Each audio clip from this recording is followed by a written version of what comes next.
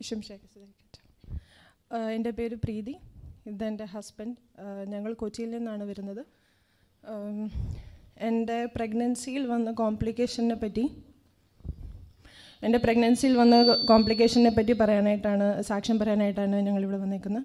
അപ്പം ഞാൻ എന്റെ കല്യാണം ട്വന്റി ട്വന്റി ടു നവംബറിൽ നടന്നു. അത് കഴിഞ്ഞ് കൺസീവ് ചെയ്ത് കഴിഞ്ഞ് മൂന്ന് മാസം വരെ പ്രശ്നങ്ങളൊന്നും ഇല്ലായിരുന്നു. നാലാമത്തെ മാസം തുടങ്ങിയപ്പോൾ തൊട്ട് എനിക്ക് ഹൈ ബ്ലഡ് പ്രഷർ ഡിറ്റക്റ്റ് ചെയ്തു.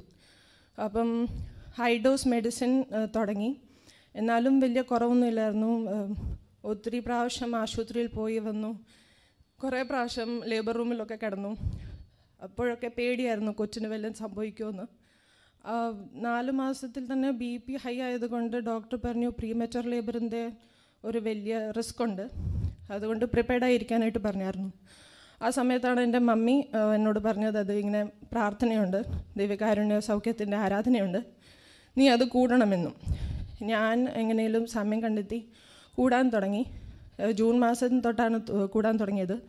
അപ്പം ഫുൾ ടേം ലേബർ ആണെങ്കിൽ ഇവളുടെ ഡെലിവറി ഡേറ്റ് പറഞ്ഞത് സെപ്റ്റംബർ ആയിരുന്നു. അപ്പം എന്റെ ഡോക്ടർ പറഞ്ഞു ഇത്രയും ഹൈ ബി പി ആയതുകൊണ്ട് നമ്മൾ ഫോർട്ടി വീക്സ് വരെ വെയിറ്റ് ചെയ്യണ്ട. തേർട്ടി സിക്സ് വീക്സ് ആകുവാണെങ്കിൽ തന്നെ നമുക്ക് പ്രൊസീഡ് ചെയ്യാം. അപ്പം ഞങ്ങൾ ഭയങ്കര ടെൻഷനിലായിരുന്നു എന്താണെന്ന് വെച്ചാൽ ബി പി എപ്പം നോക്കിയാലും ഹൈയാ മെഡിസിൻസ് എടുത്താലും. അപ്പം ഡോക്ടർ പറഞ്ഞു ഇതിന്റെക്കാളും ഇനിയും ഡോസ് കൂട്ടാനും പറ്റത്തില്ല.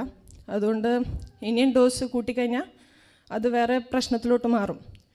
അപ്പം നമ്മൾ എങ്ങനെയെങ്കിലും കൺട്രോൾ ചെയ്യാൻ നോക്കണം. അപ്പം ഞാൻ ഈ പ്രാർത്ഥന എന്നും കൂടിക്കൊണ്ടിരുന്നു. ഡെലിവറി എന്തോ ദൈവാനുഗ്രഹം കൊണ്ടും അച്ഛനോട് ഞാൻ എപ്പോഴും പ്രാർത്ഥനാ സഹായം ചോദിക്കുമായിരുന്നു. എനിക്കിങ്ങനെ പേടി കൂടുമ്പം. അപ്പം അച്ഛൻ എപ്പോഴും എന്നോട് പറയായിരുന്നു "അത് കുഴപ്പമൊന്നുമില്ല. നീ ആരാധന കൂടണം. ഒരു കുഴപ്പം വരത്തില്ല. ദൈവം അനുഗ്രഹിക്കും എന്ന് പറയും. അപ്പം എങ്ങനെയൊക്കെയോ തേർട്ടി സിക്സ് വീക്സ് കംപ്ലീറ്റ് ആയി. അതുവരെ ഡോക്ടർ സ്കാൻ ചെയ്തപ്പോൾ പറഞ്ഞു കൊച്ചിനും കുഴപ്പമില്ല. കൊച്ചിന്റെ ഗ്രോത്തും നോർമലാണ് പിന്നെ തേർട്ടി സെവൻത്ത് വീക്ക് ആയപ്പോൾ തന്നെ ഡോക്ടർ പറഞ്ഞു ഡെലിവറിക്ക് കയറാം.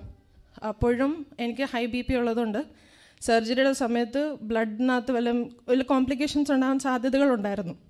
അപ്പം ബ്ലഡ് എല്ലാം റെഡിയാക്കി വെക്കാൻ പറഞ്ഞായിരുന്നു എന്റെ ഹസ്ബൻഡിനോട്. ഫാമിലി എല്ലാവരും ഉണ്ടായിരുന്നു. പിന്നെ എന്നെ ഡെലിവറിക്ക് കയറ്റി അപ്പോഴും പേടിയായിരുന്നു. അപ്പം എന്തായാലും എല്ലാവരുടെയും പ്രാർത്ഥന കൊന്നാട്ടച്ചന്റെ പ്രാർത്ഥന ഇവിടെയുള്ള പ്രാർത്ഥന ഗ്രൂപ്പുകളിനകത്തുള്ള എല്ലാവരും എനിക്ക് വേണ്ടിയും കുഞ്ഞിന് വേണ്ടിയും പ്രാർത്ഥിച്ചു. കുഴപ്പമൊന്നും കൂടാതെ ഡെലിവറി നടന്നു.